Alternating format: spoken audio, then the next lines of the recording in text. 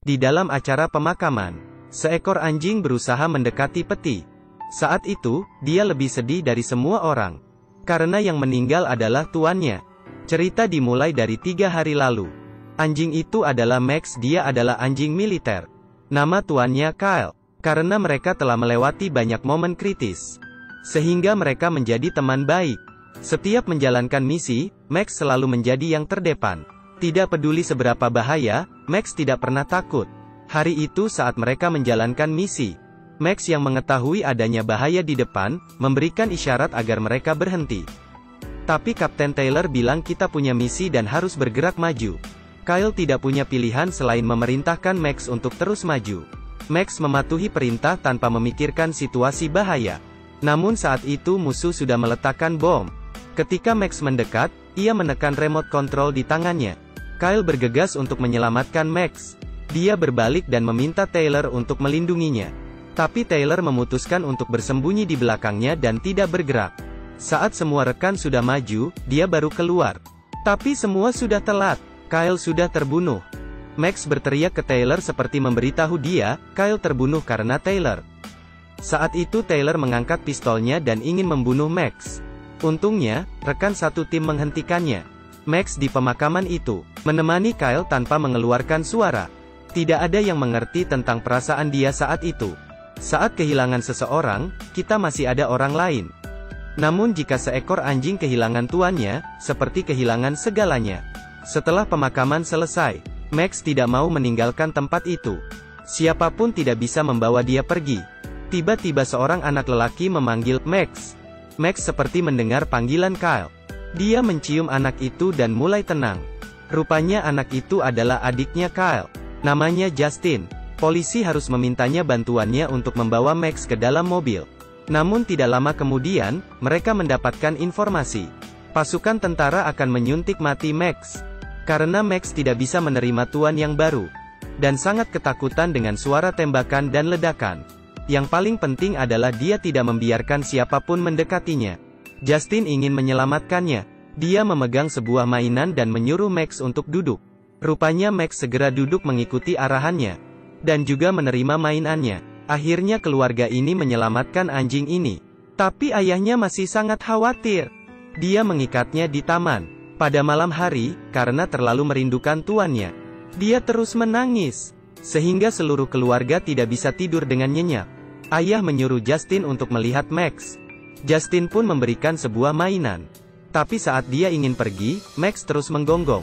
Tidak ada pilihan lain, akhirnya Justin duduk di sana dan menemaninya. Tapi dia tiba-tiba tertidur. Karena dari tubuhnya Justin, Max mendapatkan bau yang sama dengan Kyle. Bau ini membuat dia merasa tenang. Keesokan hari, Justin pergi bermain dengan temannya. Di situ dia berkenalan dengan seorang gadis. Keluarga gadis itu memiliki bisnis ternak anjing. Mereka memiliki pelatihan khusus untuk anjing. Kemudian Justin meminta bantuannya untuk melatih Max. Dia mengikuti arahan gadis itu. Pelahan-lahan dia memegang Max. Rupanya Max sangat penurut saat itu. Dengan cepat Max menerima kehadiran Justin. Malamnya, Taylor yang menyebabkan kematian Kyle datang ke rumah mereka. Dia mengaku dirinya terluka. Tubuhnya penuh dengan luka tembakan dan tidak bisa bertugas lagi. Sebenarnya dia berbohong. Kebenaran ditemukan di pasukan tentara. Dia mengkhianati rekan tentara dan dipecat karena menyelundup senjata. Ibu Kyle menganggap Taylor adalah teman baik Kyle. Jika Max melihatnya pasti akan sangat senang. Tapi Max langsung memutuskan rantainya. Dan menyerang ke arah Taylor. Untungnya Justin menahannya. Hal ini menyebabkan ayah Kyle tidak mempercayainya lagi. Dia pun membeli sebuah kandang. Keesokan harinya ada perayaan Hari Pahlawan. Semua orang yang telah berjuang dan pensiun dari perang. Dengan bangga berjalan di kelompok orang. Malamnya juga ada pesta kembang api. Saat itu, tiba-tiba Justin terpikir dengan Max. Karena Max sangat takut dengan suara ledakan. Dia segera berlari pulang ke rumahnya. Saat itu Max sangat ketakutan dan terus menangis. Karena tuan sebelumnya mati di dalam suara ledakan ini. Justin segera menenangkan dia. Kemudian Justin juga masuk ke kandang. Dia memegang Max dengan hangat. Akhirnya Max pun merasakan aman. Dengan sangat kasihan dia tidur di pelukan Justin. Sebenarnya dia tidak menakuti suara ini. Namun suara ini bisa membuatnya teringat saat dia kehilangan tuannya. Tidak ada yang tahu, saat itu seberapa sakitnya hati Max. Hari itu Taylor mencari ayah Kyle untuk menyewa gudangnya. Ayah Kyle pun berbincang dengannya. Dia menanyakan bagaimana anaknya bisa meninggal. Taylor menjawab, semua ini karena Max. Saat itu Max takut dengan suara ledakan. Demi menolongnya, Kyle terbunuh. Malamnya ayah Kyle terpikir untuk membunuh Max. Untungnya Justin menghentikan semua ini. Dia memberitahu anaknya, jika anjing ini melakukan kesalahan lagi, maka dia akan membunuhnya. Justin tidak percaya Max yang menyebabkan kematian kakaknya. Keesokan hari, secara diam-diam dia mengikuti Taylor. Dia mendapatkan Taylor sedang bertransaksi senjata dengan orang lain. Tapi mereka tidak sengaja ditemukan oleh dua anjing jahat. Max sendirian di depan untuk melindungi Justin. Kemudian dia memancing mereka menjauh. Justin karena bersepeda terlalu cepat. Tidak sengaja terjatuh. Dia terpaksa meninggalkan sepedanya. Karena Max sangat berpengalaman dalam berperang. Dia pun berhasil menghabis kedua anjing jahat itu. Saat mereka pulang ke rumah, Taylor sudah menunggu di rumah. Mereka pertama mengadu bahwa Max menggigit mereka. Dan juga membawa sepada Justin sebagai bukti. Taylor membawa Justin ke kamar. Dia mengancam Justin, agar tidak memberitahu orang lain terkait apa yang dia lihat. Dan juga Max harus mati. Jika dia tidak mati, maka yang mati adalah keluargamu. Justin tidak ada cara lain. Akhirnya dia setuju, sehingga Max kehilangan tuannya lagi. Dia dibawa ke tempat penampungan, untuk disuntik mati. Tapi mereka tidak tahu, Max adalah anjing tentara yang sangat baik. Dia bisa mengetahui semua hal. Dia terus menolak. Saat itu semua orang berusaha menahannya. Dia sangat ingin membalas dendam untuk tuan sebelumnya. Dan juga melindungi tuan barunya. Malamnya, ayah menemukan anaknya yang terlihat aneh. Namun anaknya tidak ingin memberitahu rahasianya.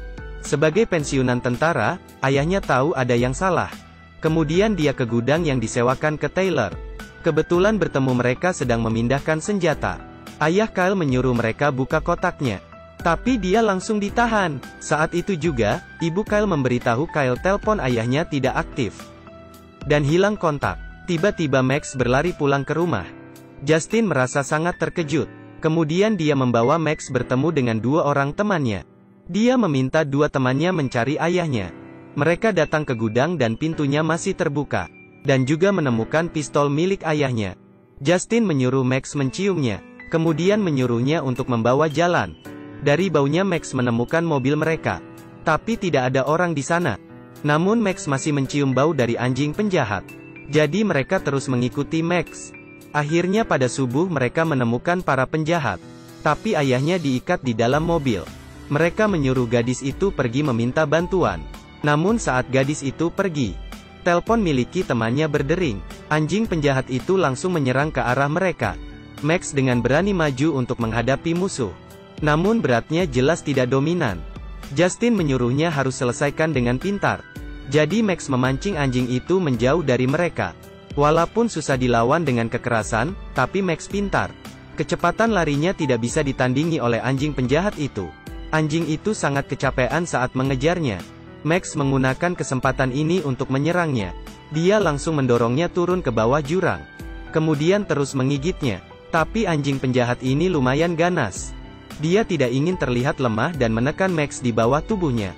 Lalu Max dengan kaki kanan dan menendangnya masuk ke sungai. Tapi Taylor datang di saat itu dan menembak ke arah Max. Kemudian dia juga meminta bantuan temannya. Tapi temannya menemukan teman Justin. Saat itu Justin langsung menyerang dengan bersepeda. Dan mendorong orang itu hingga jatuh ke jurang. Ayah Kyle mencari kesempatan dan menjatuh orang yang menjaganya. Kemudian mengambil pistol untuk mencari anaknya. Tapi Max tiba-tiba muncul di depannya. Max berlari dengan cepat menuju ke arahnya. Dalam keadaan siap untuk menyerang. Saat itu ayah Kyle mengarahkan pistol ke arah Max. Tapi Max menggigit orang di belakang ayah Kyle. Dia menyelamatkan ayah Kyle. Dan Taylor masih terus mengejar Justin. Mereka berlari ke sebuah jembatan. Tapi jembatan sudah hancur, dan tidak ada jalan lain. Taylor langsung memukulnya hingga jatuh. Jika bukan karena Justin, maka dia pasti sudah untung banyak uang. Saat dia kehilangan kendali dan ingin membunuh Justin, Max muncul lagi di hadapan mereka. Taylor mengarahkan pistol ke arah Max. Untungnya Justin menendang kakinya. Kemudian Max membawanya terjun ke bawah. Anjing ingin seperti malaikat penyelamat. Tanpa arahan dari tuannya, dia tidak akan mati. Justin membawanya ke makam kakaknya. Dia bilang, Kyle tidak bisa menemani dirinya tumbuh dewasa. Tapi terima kasih sudah meninggalkan anjing untuknya. Kandang di rumah juga sudah dijual ayah Kyle. Dia juga bilang Max bebas bermain di dalam rumah. Bebas tidur di mana saja.